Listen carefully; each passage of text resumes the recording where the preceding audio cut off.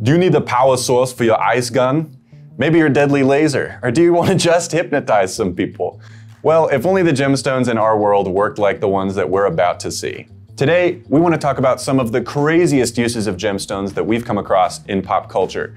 Whether it's rubies, diamonds, or what have you, the characters on this list found some insane uses for gemstones that made us question pretty much everything. To start off our list, we want to look at the infamous 1997 film Batman and Robin.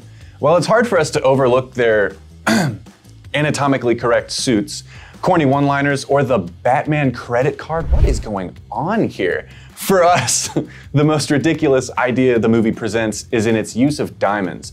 Mr. Freeze uses large diamonds to power up his freezing engine so that he can freeze the entire city of Gotham and hold it for ransom. Uh, do we even need to elaborate on this one? While there are some recent and interesting breakthroughs in the use of diamonds as batteries, the idea that a diamond can power a freeze machine makes no sense. I mean, yeah, they are very thermally conductive and are used in electronics to draw heat away from other components, sure, but freeze a whole city? And how exactly do the smaller diamonds power up his suit? It's not like you can chuck diamonds into your gas tank and make your car go faster. So, for all you supervillains out there, let me just save you some time real quick. Don't steal rare, expensive diamonds expecting them to power your freeze ray. It doesn't work like that. That's not how it works. That's not how any of this works. One particular villain who could have benefited from that lesson comes from the 1971 film Diamonds Are Forever. Sean Connery as 007 is sent to spy on a South African stone smuggling situation. He discovers a space satellite equipped with a laser weapon that uses diamonds to terrorize the world. The idea was that each diamond would intensify and concentrate a laser beam to the point where it could destroy missiles, submarines, really whatever else Blofeld wanted. As you can imagine, this idea is bonkers, but not that bonkers. Diamonds have been used in optics for quite a while, and in recent years have been used to create a laser that can cut through steel. That is, from a short distance away, and certainly not from an orbiting satellite. A laser with a diamond in its chamber is capable of producing a very fine beam that, unlike older lasers, doesn't fan out as much and stays focused. That said, I don't think these lasers are anywhere near capable of blowing up a submarine from space. Lighting a match? Eh, maybe. I mean, like I said, bonkers, but not freeze ray bonkers. Next on our list is the adventurous Indiana Jones and his visit to the Temple of Doom. We already have a video exploring the diamonds that Indy discovers on his adventures, so click up here to watch that one. In this movie, one of the central plot points is a collection of powerful stones revered by a small tribe in India. When the stones are stolen, the villagers start to die, and Indiana must help recover them. Over the course of the film, these stones glow in each other's presence, become spontaneously red hot, and are used for open heart surgery?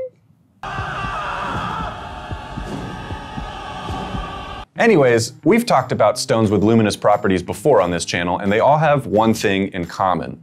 Their glow comes from an outside energy source, like light or heat, and not just holding another rock close to it. And as far as burning a hole in a satchel, some gemstones can take a tremendous amount of heat, but that heat usually comes from a mega hot furnace or the center of the earth, and not just speaking Hindi. And as for pulling out someone's heart, I'll let that one speak for itself. It's not a proper movie list if you don't include at least one Disney movie, right? Here we want to fly over to the world of Agrabah from 1992's Aladdin.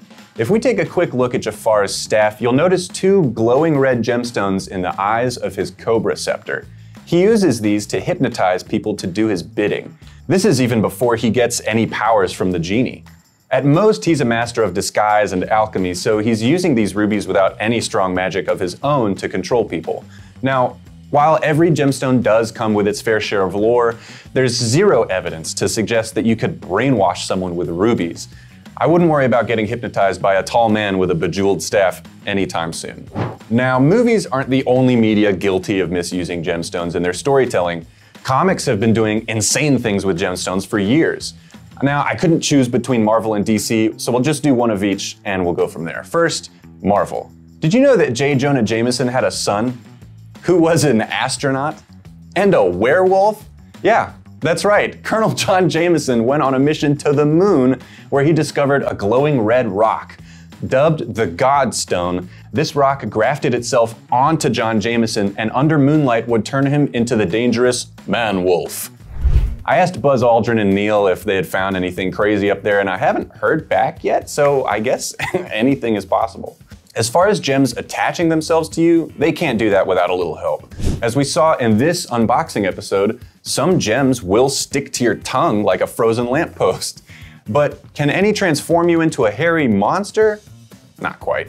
Equally guilty as Marvel is DC Comics. While they've had some crazy villains like Gem Girl and Jewelee who use gemstones to fight Wonder Woman and the Justice League, the one that stands out to me is Star Sapphire. Star sapphires absolutely exist in the real world, and they are famous for their stunning phenomenon known as asterism. To learn more about asterism, click right here. Now, while they are exceptionally pretty and rare, they don't exactly do what the one in the comics does. Star Sapphire receives a symbolic weapon that looks a bit like a real life Star Sapphire. The only difference here is that hers gives her superpowers, among which include the ability to channel her love into beams and weapons.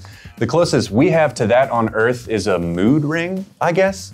Just don't expect it to fly you through the universe, let alone battle the Justice League. In fact, I wouldn't count on a mood ring, period, for anything. Well, that's enough fun for today. If any of these could work for real though, what gemstone powers would you want to use? Let us know down in the comments below. And while you're there, don't forget to hit those like and subscribe buttons so you don't miss out on future videos. See you next time.